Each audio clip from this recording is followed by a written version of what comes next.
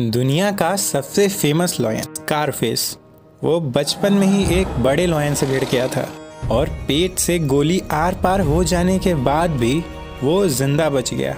अपने तीन मस्केटियर्स भाइयों के साथ उसे भी एक बहुत ही famous lion coalition Notch lion coalition की संतान माना जाता है और उन्हीं के तरह ये भी मसाई मारा के अनडिफीटेड किंग थे।